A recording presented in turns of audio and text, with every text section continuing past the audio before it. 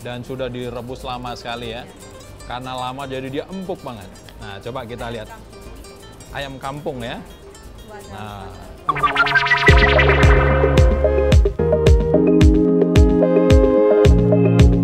Pemirsa, sekarang kita akan mencicipi hidangan khas dari Korea namanya sup ayam ginseng atau samgaetang. Wah, itu terkenal banget. Dan untuk itu, kita akan bicara dengan pemiliknya restoran ini ya. Restorannya bernama Daejanggum ya, Ibu Ko. Wah, cocok kan ya?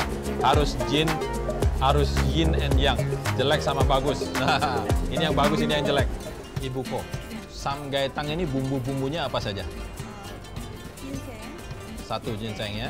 panggi, Panggi itu apa? panggi dari Korea, akar obat. Akar ya, akar obat ya. Lalu? Sama, eh, beras ketan, Mhm. sama.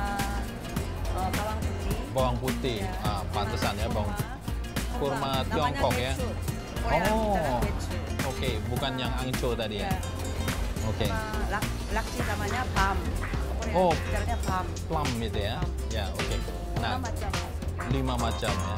Lalu eh, kegunaannya ginseng itu apa aja? Eh, sangat cocok ya, dengan perempuan Mhm. untuk orang laki-laki eh, kalau sakit perut Ya. tidak sakit sama Ya. Juga kalau merasa dingin gitu ya, ada ginseng bi- bisa hangat ya. panasnya Korea musim panasnya makan ini keringat-keringatnya kuat Ya.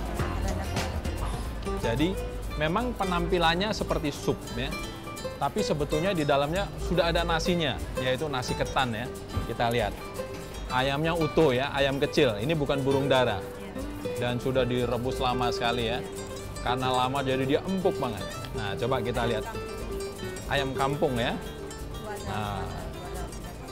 Tuh, lihat pemirsa. Di dalamnya ada ketannya ya, nasinya ada di dalam sini.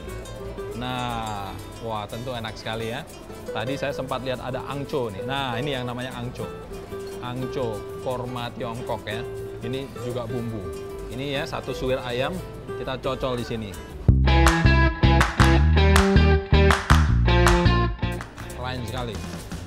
Rasanya karena ayamnya kan nggak terlalu berbumbu, lalu kena kristal-kristal garamnya beda banget rasanya. Nah, kalau yang namanya makanan Korea harus ada kimchi ya. Kimchi itu acarnya orang Korea yang pedes, pedes asam. Ini enak. Dimasukkan ke sini juga boleh ya. Jadi supaya lebih pedes sedikit gitu ya. Supnya supaya lebih miroso gitu ya. Hmm, basita, enak banget. Pemirsa, sudah kenal ya? Sop ayam ginseng dari Korea, samgetang namanya ya.